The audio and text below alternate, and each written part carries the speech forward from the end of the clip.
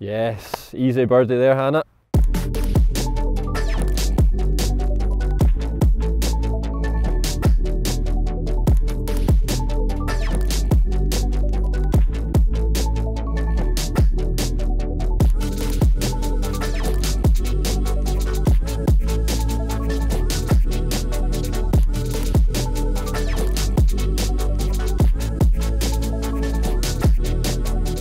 So Hannah, you're obviously a big fan of that Ping putter you've got in your hand.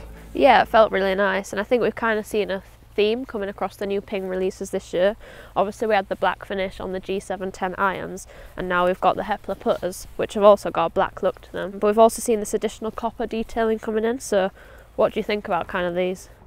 Um, I mean, similarly to the irons, I'll probably need some convincing. I mean, looking down, it's the kind of classic Anser shape, which is nice. You know, I like the shape, but again, the colour for me, nah, I don't know.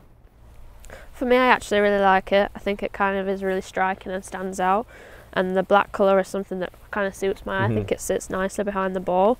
So I've set up a little challenge for us to try. Okay. We've got three balls each here, and we've got kind of 30, 40 feet down the slope. So just going to hit a few putts and see who can get nearer. Yeah, again, I mean, looking over it, it's nice. So, see how it feels off the face. I've got the shakes over a putt this time for a totally different reason.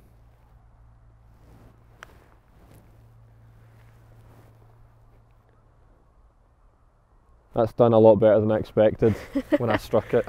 How did that kind of feel off the face then? Uh, it actually felt quite nice. It was quite like a quite like a soft feel, um, and the, the kind of weight and stuff was quite nice. So yeah. Obviously, we've got putters that are very visually different here. Yeah. And I think it is important to know there's kind of nine different putters in this range, so there's a mixture of blades and mallets. So that just kind of means everyone's going to kind of have some sort of style that'll suit them. That's halfway, Hannah. right, Hannah, that was poor to say the least. Have another go and see if you can do better.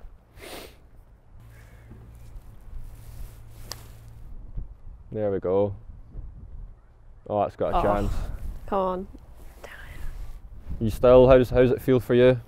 I think there is actually slightly firmer feel off the face. Um, obviously, I probably picked that up on the first putt and then Yeah. just didn't give the fir- the second one enough. Yeah. I think that's quite a good thing because generally we see a lot of amateurs leave the ball short on yeah, the green. definitely.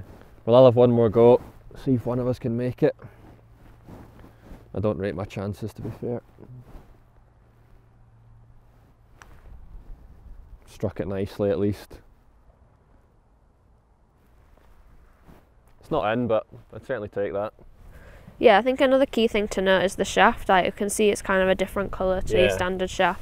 It's got a bit more of a black colouring in it, um, but also it's adjustable. So a lot of the time, I find the weighting of a putter is affected because I have to cut it down. With this, you can just put the adjustable screw in the head of it and turn it to what length you want it.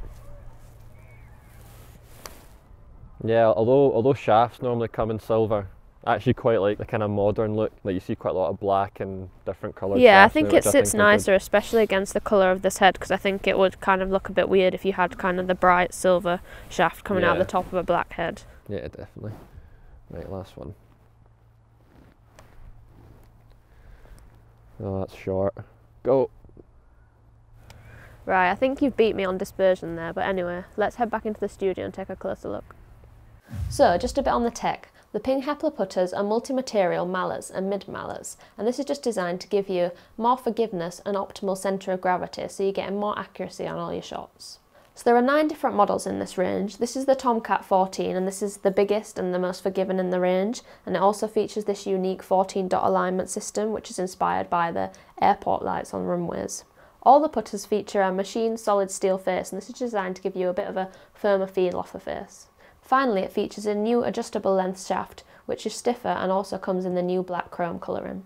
So we're back in the studio, Andy. What did you think of the Heppler putters? As- I kind of spoke about in the course, you know, I'm, I'm yet to be sold on the the colour, the actual shape. You know, it's the, it's pretty much the exact same shape as the putter I use now. So, in that regard, yeah, it's good, and the feel of the face is, is quite nice. But I, I don't know how comfortable I am looking down on that kind of copper colour personally. But I know you quite liked yours. Yeah, I think compared to you, I prefer a putter that's not like that traditional. So Mm. for me, like the different colours were quite like visually interesting, and obviously like this is a new shaping which I really liked. I always kind of use a big mallet, so Yeah. this is something that suited my eye straight away. Yeah, you, you hold that nice uh, that nice birdie putt out in the course, and then obviously left your next putt about ten feet short. so you really seem to have some uh, some good consistency uh, across the board with that one. Yeah, well, joking aside, I did actually really like the feel off the face. Like I always leave put short, and I think you could definitely feel the firmer feel off the face, um, which is definitely something I prefer because I don't really feel like I want to do a really long stroke to get a ball to the hole. Yeah. So being able to do a bit of a short stroke and roll the putt up was definitely something I preferred.